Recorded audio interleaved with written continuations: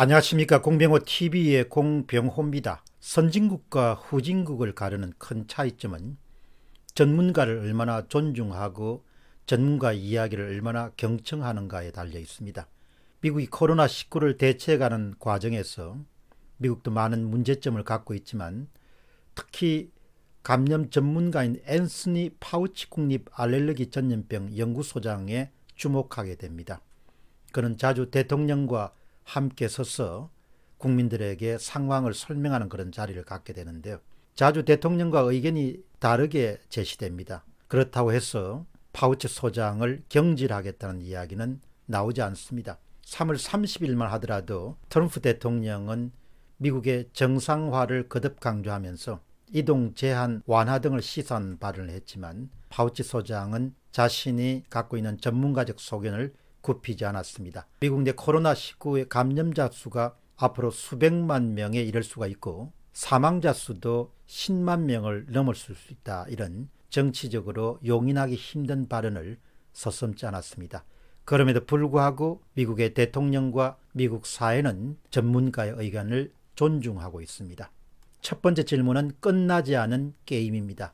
코로나19에 관한 정부 자문을 맡았던 한림대학교의 이재갑 감염내과 교수는 4월 1일 한 방송 인터뷰를 통해서 다수 놀라운 그런 의견을 제시했습니다. 방송 진행자가 묻습니다. 국내 확진자 수가 4월 3일 오후를 기준으로 해서 1만 명을 돌파했습니다. 1만 62명입니다.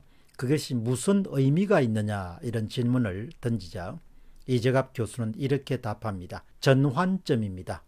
앞으로 우리가 1만 명이 되기까지의 상황 등을 복귀해서 추가로 1만 명이 더 생기지 않도록 주의해야 됩니다. 그러나 이재갑 교수는 상황이 낙관적이지만 않다라는 그런 이야기를 대했습니다.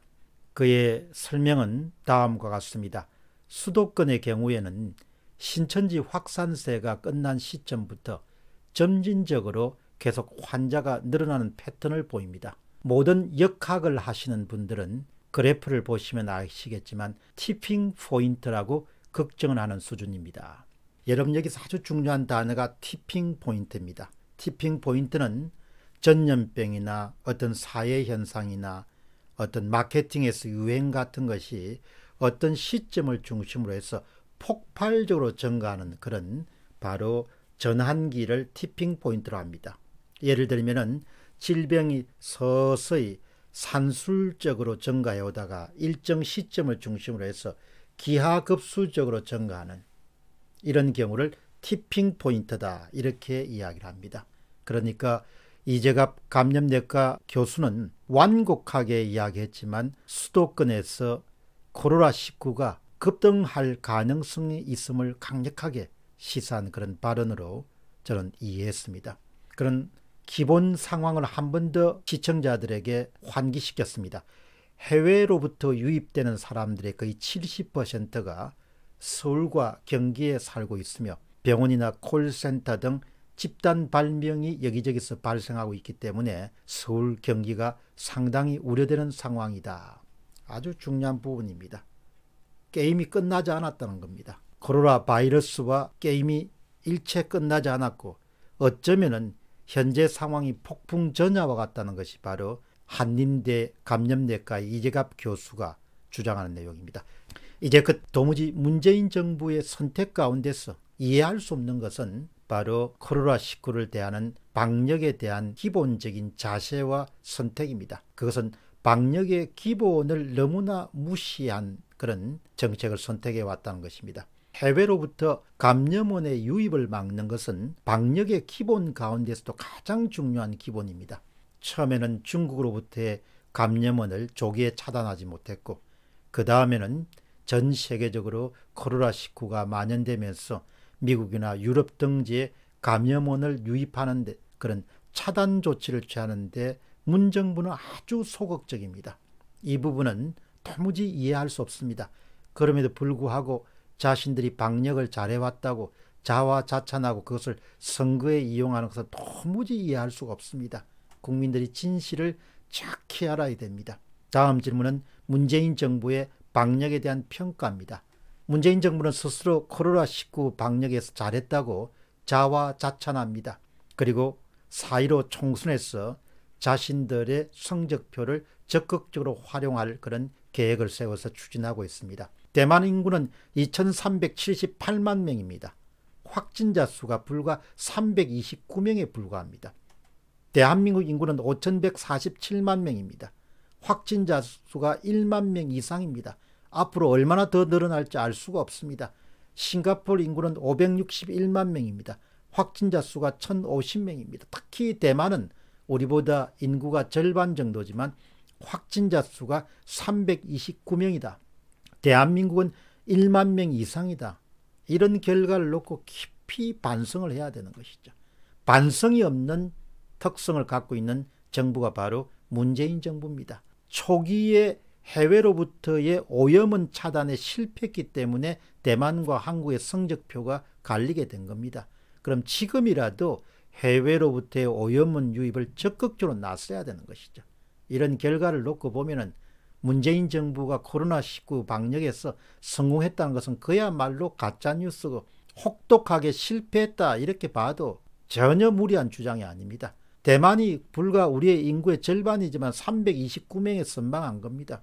1월 26일부터 대한민국의 대한의사협회는 지속적으로 7차례에 걸쳐서 정부로 하여금 중국발 오염원 유입 차단, 입국 금지를 계속해서 주장했습니다. 정부 부처인 중앙사고수습본부도 2월 2일 날 중국 출발 입국자 차단을 결정했습니다. 그러나 곧바로 번복해서 후베이성 출발 입국자만 입국 금지를 시키는 조치로 전환을 시켰습니다. 결국은 전문가들이 내려야 될 그런 판단을 정치인들이 정치적 이유 때문에 중국발 오염원을 차단하지 못했기 때문에 대만은 기본적으로 300명 수준에서 선방했지만 한국은 1만 명을 훨씬 웃도는 수준까지 지금 끌려다니고 있는 겁니다. 지금도 입국 제한 조치를 실시 않음으로 인해서 해외 오염원이 계속적으로 유입되고 있습니다. 최근 2주간 신규 확진자 가운데서 35%가 해외로부터 유입된 겁니다. 그래서 문을 활짝 열어놓고 모기 잡는 꼴이다라는 그런 비난은 중국으로부터의 입국 금지를 단행하지 않았을 때와 마찬가지로 지금도 해외로부터의 입국 금지를 단행하지 않은 것에 대해서 꼭 같이 적용될 수 있는 것이죠. 완전히 정치적으로 코로나19를 접근한 겁니다. 당연히 모기가 들어오지 않게끔 문을 닫고 그 다음에 안에서 방역을 해야 되는 것이죠. 과학적 사고가 없는 겁니다. 합리적 사고가 없는 겁니다. 이성적 사고가 없는 겁니다. 지성적 사고가 없는 겁니다. 논리적 사고가 없는 겁니다. 이 정부가 이렇게 한 겁니다. 앞으로 1만 명에서 수도권을 중심으로 해서 얼마나 더 늘어날지를 알 수가 없는 것이죠.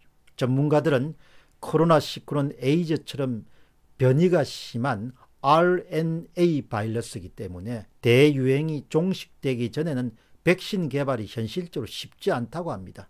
그나마 다행스러운 것은 80명은 자가치료가 가능하고 20% 정도에 대해서만 집중치료가 필요하다 이렇게 이야기하지만 20%에 해당하는 그런 환자들은 갑자기 병세가 악화돼서 죽음에 이를 수 있다는 겁니다. 그러니까 아침에는 멀쩡했던 환자가 오후가 되면서 급속히 폐기능이 떨어지는 그래서 인공호흡기, 음압시설 같은 것이 굉장히 중요한 것이죠. 따라서 현재 코로나19는 조기 종식이 불가능합니다. 내년 봄까지 유행될 가능성을 굉장히 높게 보는 전문가들이 많습니다. 따라서 사회적 거리두기를 통해 가지고 최대한 감염자 수가 늘어나는 속도를 낮추는 것이 바로 방역에서 성공할 수 있는 중요한 또 요체 가운데 하나다 이렇게 볼 수 있겠습니다. 어떻든 제가 명확하게 정리하고 싶은 것은 대만이 우리의 인구의 절반인데 300명 수준에서 300명 대 329명 수준에서 확진사 수를 늦추는 데 성공했다. 대한민국은 5천만 정도 가운데서 1만 명을 넘어서 앞으로 수도권에서 늘어나게 되면 얼마가 더 늘어갈지 알 수가 없다는 것이죠.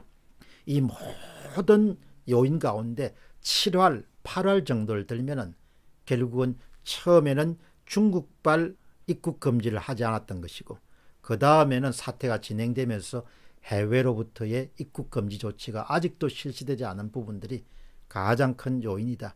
따라서 총점을 매기게 되면은 문재인 정부의 코로나19의 방역은 그들이 이야기한 것처럼 성공이 아니고 대실패라고 이렇게 볼 수가 있습니다. 우리가 진실을 알아야 또 진실을 알고 그들 하여금 정책 방향을 수정할 수 있도록 요구하는 바로 코앞에 4.15 총선이 있기 때문에 그들에게 책임을 물어야 된다고 봅니다. 공병호 TV의 공병호였습니다. 감사합니다.